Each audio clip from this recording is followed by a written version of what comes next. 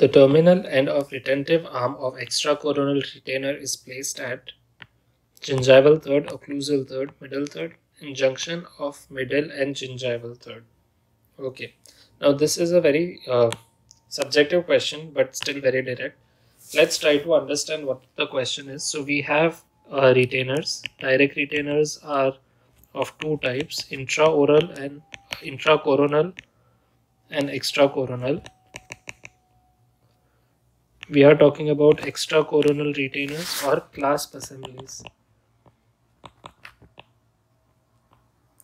Now in a clasp assembly, you have a few components. So you have the retentive terminal, the reciprocal and a rest.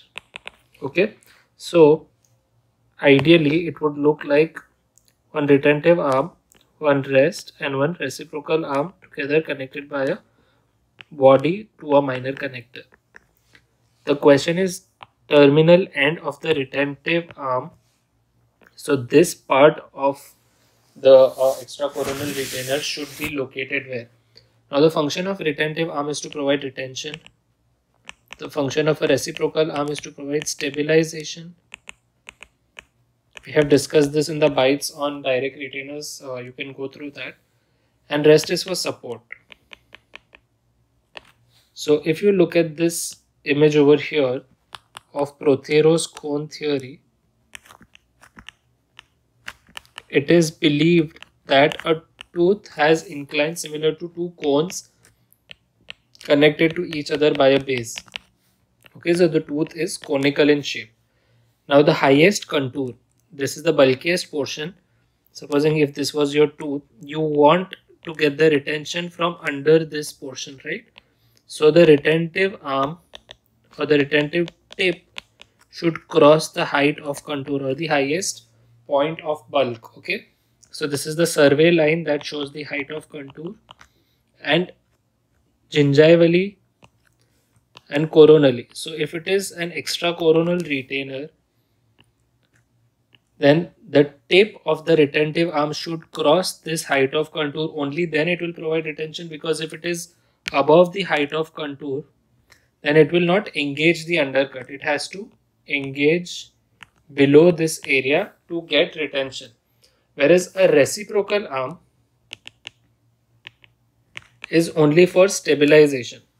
Okay so it has to lie just on the survey line. That means buccally is the retentive arm.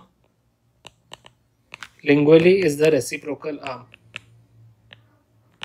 This line over here is the survey line or the height of contour.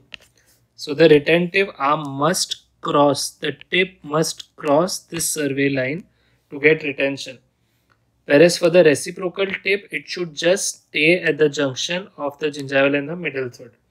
Now, if this was a gingivally approaching clasp system, then the I bar should cross the retentive, this portion to provide retention. Okay, the I bar should cross the height of contour and provide retention like this if it was RPI. Okay, so RPI would be something like this. Right?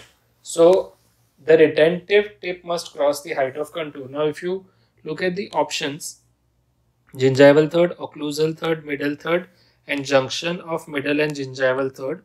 So the tip or the retentive arm terminal should be in the gingival third for a conventional extracoronal retainer like a simple circlet clasp.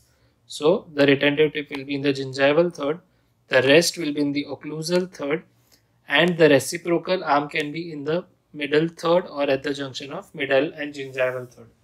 Now I told you it can be subjective because on the basis of survey line, the survey lines can be too high or too diagonal or it can be too low. So that ways the uh, tip configuration and the position will change but by a general thumb rule this is what we are going to follow. So remember this image because there are a couple of other questions over here that can also be asked in the exam.